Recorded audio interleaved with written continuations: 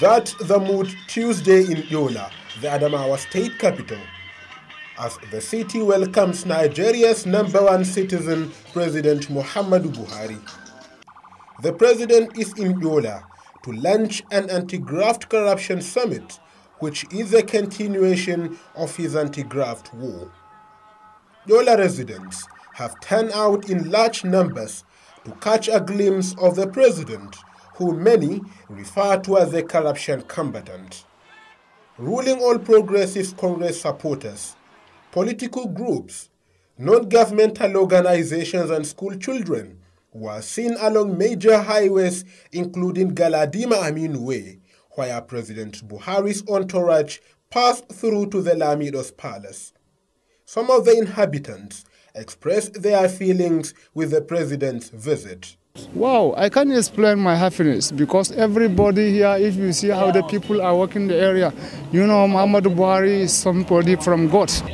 Well, I feel uh, happy uh, because uh, very recently he was given an award uh, as the, the, the fighter of democracy, I mean corruption in, in Africa. So uh, I feel uh, happy. Uh, it means he's going to do the corruption war more and more. that is why he's coming to Adama today. I feel very excited because the, if you can see the road from airport to Lamido's palace, people are full on the side of the road. Excited, very, very excited. On Buhari's journey so far against the graft war, the residents have this to say. So far, so good.